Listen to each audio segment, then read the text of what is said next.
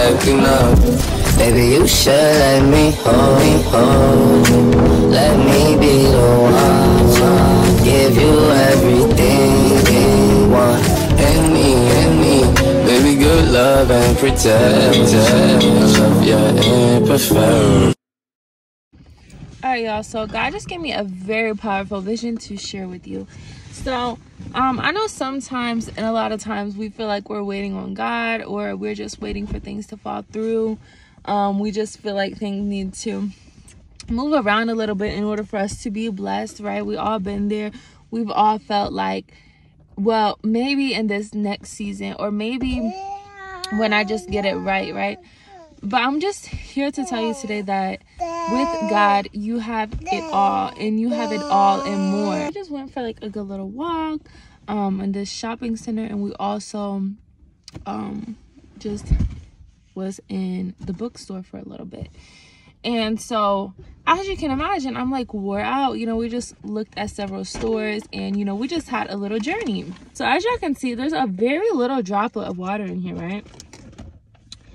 But right now, in this position that I'm in, I'm like very thirsty, like I'm very hungry, like I'm just like ready for lunch, right? It's coming up on about lunchtime. And so, so it's coming up on lunchtime, you guys, and I have, I'm so sorry. And I and I have this little droplet, right? So, but right now I'm very parched. I'm very like you know, I'm just like waiting, right? I'm just waiting and it's just like waiting on the Lord. That's how waiting on the Lord is. So that isn't the message of this, but it ties into it. So, all right, y'all. So I'm sorry. Gilly just made me spill some of it out, but as y'all can see, there is a last little droplet.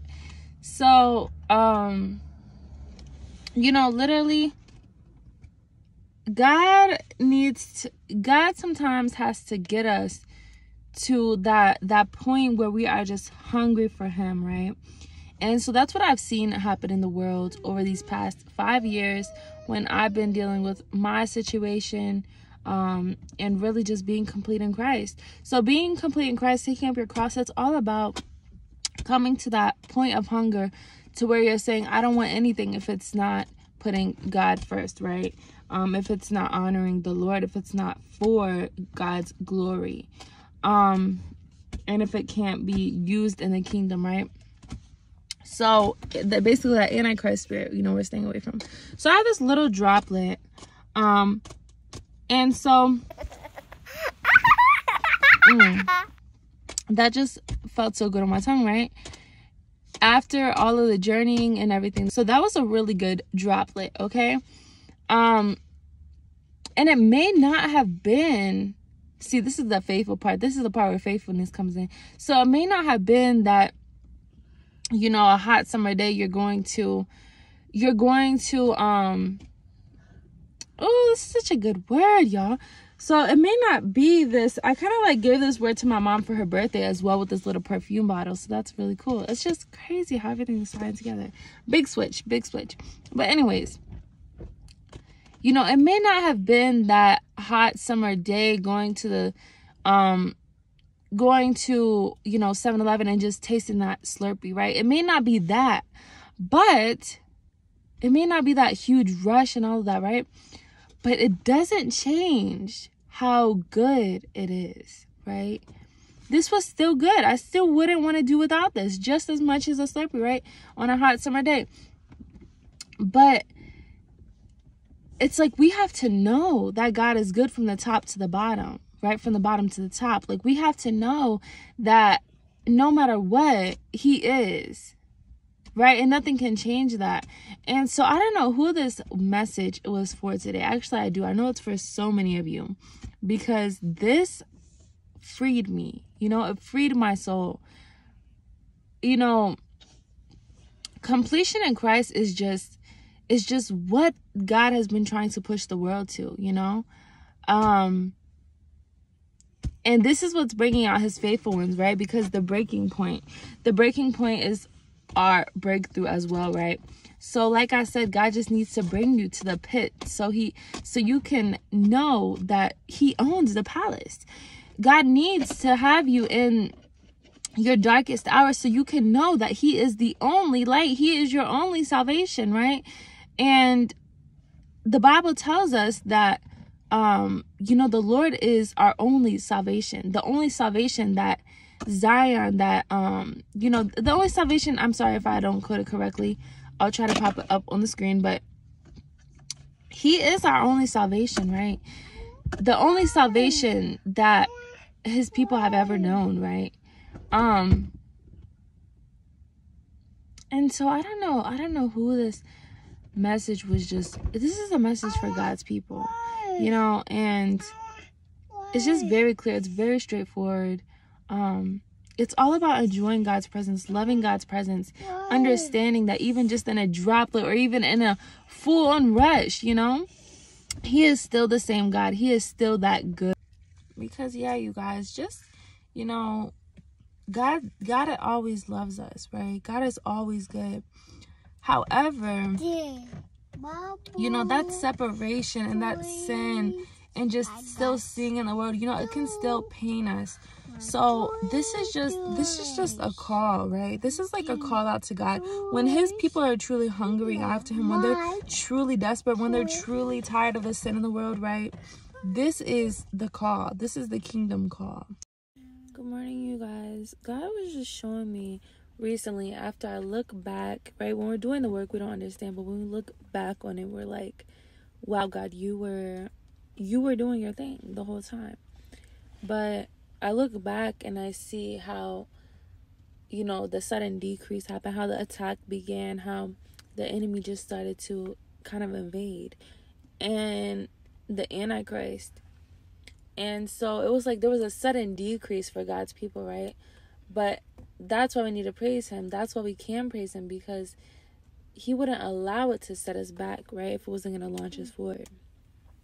Now, don't get discouraged because the breakdown is never as blessed or as good or as wonderful as the breakthrough. Okay, that's where you're gonna thrive. So keep your head up today. Ah! Love you. Hello, you guys. It's a beautiful rainy day, so welcome, welcome, welcome. I guess I'm gonna do this as a little series, just a post on my personal channel. Um, so here we are um i just uh, first of all i just want to thank you guys so much for supporting my content second of all um i have a word for everyone so i know that believers christians people of god have been awoken at this time i know that we are seeking what it is that the Lord is revealing to us because we've heard this is miracle season, this is the biggest blessing season, and we're just hearing it and hearing it, and we're like, are Christians lying or where is this blessing at? And so I have a word for you guys today um, because there has been much persecution, um, but God says He He's about to He's about to show off, right? So God gave me that word last night, but the one that he just gave to me right now was that the reason for the season, right? Um, and it's to fall in love with Jesus because it's in that that we will experience heaven, right? Um, it's in the holy church, right? It's in the body of Christ. It's in the completion, right? It's in the rising of God's people. Um, and so God says this is the reason to fall in love with him. To literally fall in love with Jesus. And to just be so wrapped up in his in his beauty and his presence and his excuse me, his love um just appreciating him, you know? And this is the these are the keys to heaven and so the reason why we ask, um, well, this blessing has seemed out of control, you know, the religious hypocrites may be getting really angry, but God says a revival is happening, an awakening. Yes, um, you know, we've also heard about the fall, but I believe that I believe this is just not a time of mourning, even no matter how much falling or how much separating or how much dividing may be happening I just know that at the end of the day, God is God is so good. Like nothing that God is gonna do is gonna harm us, right? It may feel kind of icky um, when we're going through it, but at the end of the day, God is not going to do anything to us that is not good for us, right? God would not allow it to happen in the first place. So, yes, the reason for the season is, you know, and this was just a few this is like a week ago about where um i'm just thinking like you know we say at christmas the reason for the season but it's like you know that's just the reason of life. And i don't know. It's just it's just i really see things turning you know? I really see change in the in the earth. Like i really see just I just really see God at work. And this is why I come to say what is the beautiful what is the beautiful thing about the promised land? This is the beautiful thing to fall in love with Jesus, to have a relationship with God, right? Because in that, in knowing how good Jesus is, that's how you can know how good God is, right? Because if you don't understand the love that was put up on the cross, then you can't understand any of it. Um, you don't, you probably have, you know, just some false, some facade, right? Almost that's telling you, like, in order to know God, you have to be humble, right? God does God resists the proud. So in order to be have a relationship with God, you must first be humble. And I know it seems like, oh, well, you're going to go through all these rough things, right? And taking up your cross. And then at the end, this is your reward. And it can seem very like draggy almost. But this is why you see like the weight of glory, right? So our temporary trouble is an eternal weight of glory. So that's where that verse comes in, you know? Um, God just really outweighs this world. And so that's why it's through falling in love with Jesus. And that's why that is the purpose of heaven. You know, that is the purpose of the season because without that intimacy, without that love, we, we end up having Peters, you know, we end up having Judas, right? We end up having, um, you know, these situations where where the person is not um is not able to withhold where the person can't withstand the whole relationship like it's just you get to this point where where your humanness is going to come out in some way. It doesn't have to be any other way that someone else may uh, um, experience that, but it will come out eventually in some way. And so there's no there's no book that can well the Bible, but there's no like literal there's no um how do you say it? Like there's no like there's no doctrine to tell you how to do that, right? There are certain things like loving, you know, loving your neighbor. These are certain things that you can only truly spiritually do. And why do you think it says worship in spirit and truth, right? So the Holy Spirit brings a different truth out, right? The Holy Spirit can shine can shine a light in this world, right? The Holy Spirit can shake the room, right? So I don't know. It's just it's, this is a revival video. Like someone really it's it's God's church. God's church needs to hear this message. Um you know, coming forward. God is just saying really big right now, just coming forward. Recognizing your need for Jesus, recognizing your need for for a new life, recognizing that you need to take up your cross, recognizing completion in Christ, right? and taking those things to the Lord and saying, God, align me. Allow me to to work for your kingdom and not for my own self, not for the enemy, but for you. The double mindedness, the double heart, like it, it won't do in this season. You understand what I'm saying? The the conditions that we're about to see, it, it won't do.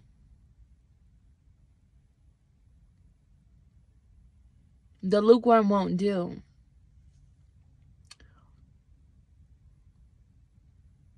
it's like the the mask is being lifted there's no more facade to hide behind. There's no more there's no more I- ideas that can save you. It's just it's just between you and god I'm saying what do i really have to live for? Like i said this was a revival video. So this was a very heavy word. Um however i'm very elated that i got to share it with you guys. So if you you know would like to share your testimony or if you just have anything um to correspond just you know make sure you comment below. And you know i'm always up for good discussion but you're staying blessed. I hope that you are just focused. I hope that you are just um, fruitful. Um, i hope that you're dwelling in the holy spirit. I hope that you're walking in the holy spirit. I hope that you are um, you know humbly walking with your God daily. So, you know, share this word, share this word where you know someone could use it. So, I love you guys so much and thank you for tuning in. Hey, you guys. So, I look a little crazy right now, but have a quick, quick word to just add on to this little serious thing, real quick. Um, so I'm watching the Crystal shoes. Alexis. Make sure. All right, one second. Make sure you go tune in with her, the Crystal Alexis, and it's with two E's. Um, she is just amazing, so anointed and honestly just gave me the boost of faith that I needed. Um, so God has come God, this is a direct word for his people today. So we don't realize how far that mustard seed of faith goes. Okay. We don't realize how far that mustard seed of faith goes. Right. We think sometimes I'll, I'll tell y'all right now. Five years ago, whenever I met my son's father, coming up on five years, was clearly was been 2018 to 2023 so it's it's yeah. So anyways coming up in june but um you know i felt so led to to share my faith with him. And i knew like it's just like the whole world and just like what everyone would think of me and just like oh this man is not um this man is not this man is not like religious enough you know but God was showing me the anointing, right? And so for 5 years I've just been going through this this thing of just bringing out that anointing in him and I don't want in the most humblest way, but you know, I've just been going through going through the things with him, going through the motions and I've seen so much I've seen so much progress, right? Um, you know, recently and he just really recognized his need for Jesus um and we can now like healthily communicate you know things that we'd never seen growing up. We never saw really we never were really you know we both had parents that were split up. So you know for us to really see that up close is not really a thing for us right? But god had put little little encouragements along the way. But i'm just coming here to say today like I'm here. I'm like, God, I need new instruction. God, like, what is the new word today? Right. And so yesterday I was just, I was going diligently seeking. I found the Crystal Alexis. And so much confirmation just came to me. And I just seen her pain and what she was going through and her passion for God. And I'm just like, this is a beautiful thing.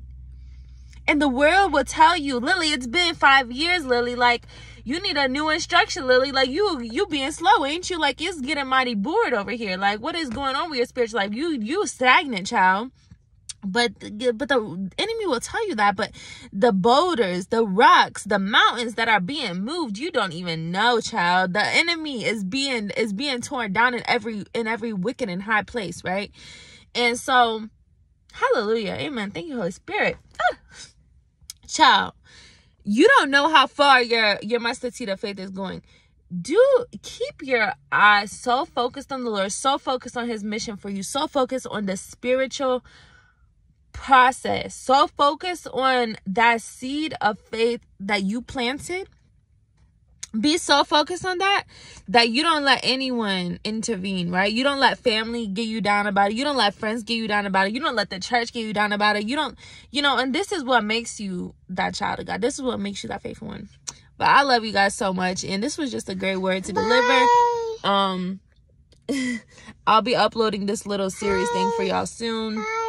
I didn't get to it today like I thought I would, but um, I'm just waiting on God's timing when to release it because you know, that Holy Spirit is that confirmation. Good morning, you guys. So, just in a situation, I'll share some time with you guys in a little story, you know, when all the stuff is past. But I just wanted to come and tell you today whenever I was in this situation and the enemy would begin to attack,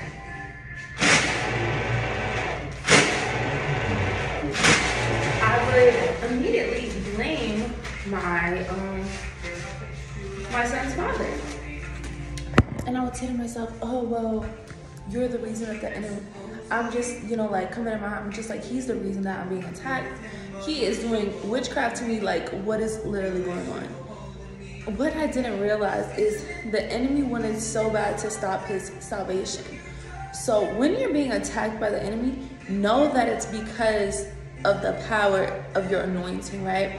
It's not because anything other than that. The enemy only his purpose is to kill, steal, and destroy. The only time he's giving you attention, it's because he's jealous, it's because he's mad, it's because he's envious, right? It's